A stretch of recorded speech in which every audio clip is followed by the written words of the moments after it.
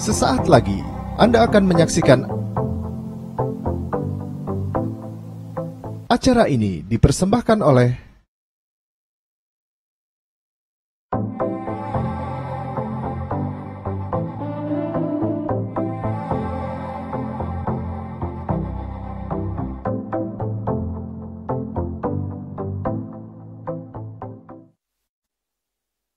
Assalamualaikum warahmatullahi wabarakatuh. Selamat sore sahabat Insight. Alhamdulillah senang sekali Insight Jak TV dapat kembali hadir bersama saya Intan Erita yang akan menemani sahabat Insight selama 60 menit ke depan di program Insight Ramadan bersama Bazis DKI Jakarta.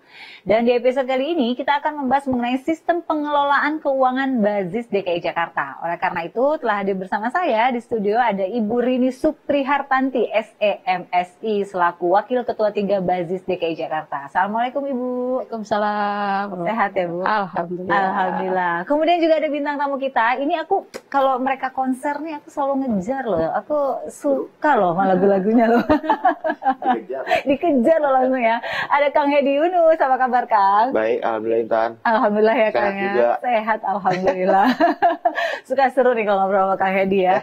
Nah hari ini kita bahas eh, mengenai bagaimana sistem pengelolaan keuangan basis DKI Jakarta nih. Tentunya para sahabat Insight di rumah juga ingin tahu ya karena memang kita sekarang kan mempercayakan gitu ya kita memberikan nih uang kita zakat, infak, sodako kepada lembaga yang memang amanah dalam eh, menjalankan eh, apa harapan-harapan atau titipan-titipan dari umat seperti itu ya.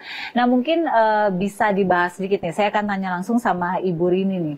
Eh, kalau menurut Ibu Rini itu yang dimaksud dengan pengelolaan zakat, terutama di zakat ya karena bulan Ramadan ya, Mm. itu seperti apa sih Bu?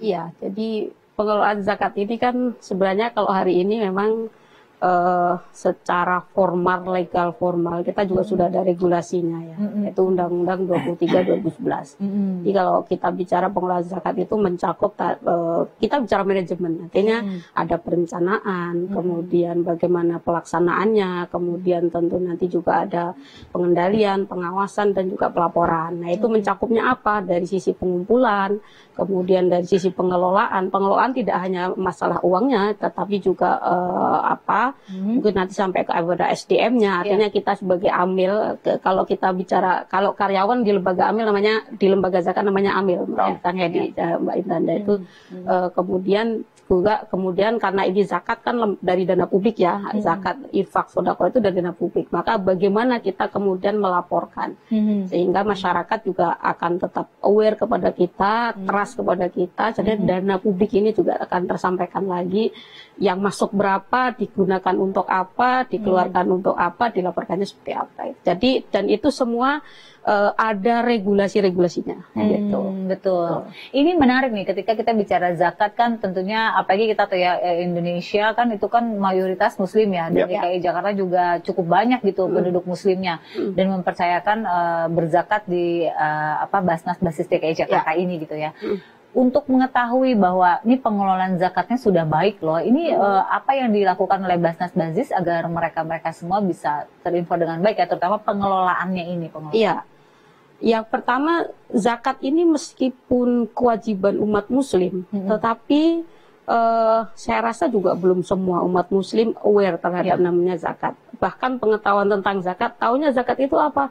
Ya Ramadan aja. Zakat fitrah Zakat fitrah. Iya. Padahal zakat dimepet-mepet.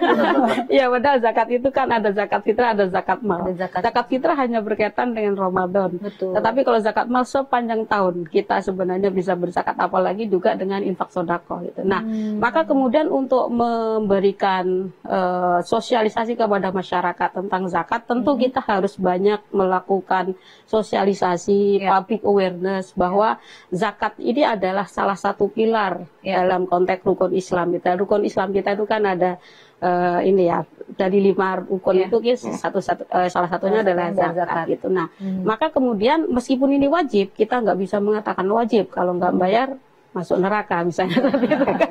Itu ditakut-takutin ya, Bu.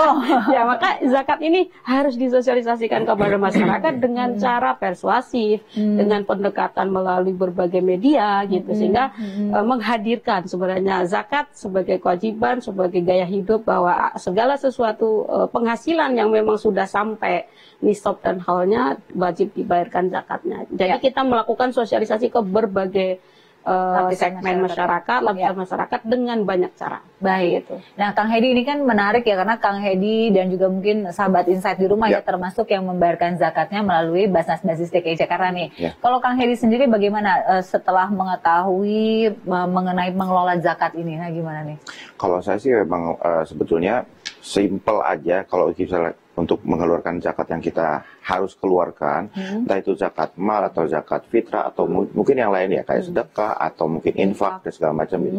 Itu sih memang kalau saya pribadi secara secara secara langsung kita cari eh, badan amil mana yang yang memang harus yang harus kita percayai. Ah, Jadi ya kadang-kadang kita juga punya punya punya tempat-tempat yang langganan dalam artian ada Hmm. panti-panti yang memang kita Betul. sudah dekat dengan rumah ataupun saudara-saudara juga. Tapi Hmm. kadang-kadang kita juga pengen eh, kalau ada yang zakat yang berlebih atau uh, apa, rezeki yang berlebih kita harus salurkan ke mana? Salurkan ke tempat-tempat yang seperti Baik. Basnas seperti ini. Kayak kayak gitu sih. Bener ya? Simple. Tapi kan Karena harus sekarang- dipercaya. Benar, aku baru nanya. Sekarang kan banyak banget nih lembaga-lembaga pengelolaan Yap. zakat ya gitu ya, Yap. ya infak ya sedekah gitu Yap. ya. Kalau yang menjadi acuannya Kang Hedi sendiri, apa sih yang membuat akhirnya oke saya trust nih sama lembaga ini gitu?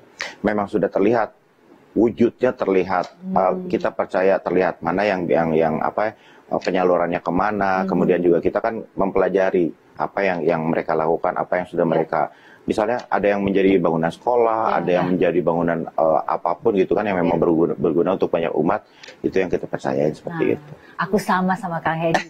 Kita lihat nih, oh nih lembaga ini ternyata mengalokasikannya ke sini dan banyak umat yang merasakan dari manfaatnya Yap. gitu ya. Maka itu menjadi eh, sebuah kepercayaan bagi masyarakat untuk memberikan atau menyalurkan zakat infak dan sedekahnya.